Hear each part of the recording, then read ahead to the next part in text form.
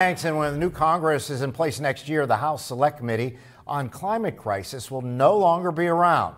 But before the committee wraps up, they released a final report on what Congress can work on to fight climate crisis. So tonight, our Washington, D.C. correspondent Rachel Knapp has that story.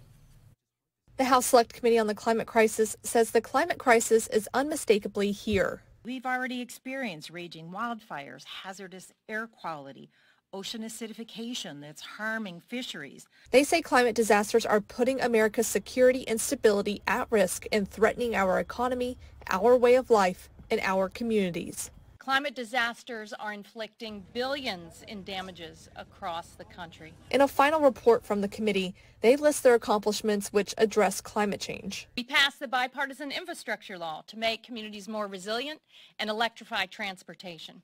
We passed the CHIPS Act to empower our industries to lead the clean energy uh, transition. And we passed the Inflation Reduction Act, which is the largest clean energy and climate investment in U.S. history. Part of the bipartisan infrastructure law has a direct impact on our Great Lakes, which are near and dear to our local communities. That legislation will help pay for harbor operations and maintenance needs. Although the committee says when Republicans take control of the House in January, this committee will dissolve. They say there's room for bipartisan work on combating climate change.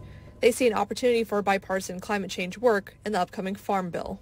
Farmers are uh, leading the charge now. They are awake to the harsh impacts of water shortages, extreme heat on their, their crops and products. The group lays out a huge list of recommendations for the next Congress, like moving more towards electrification of cars and buildings, more pollution-reducing policies, and more. We must continue to fight for climate action that is bold, that is science-based, that is rooted in justice, and that it's beneficial to workers and families.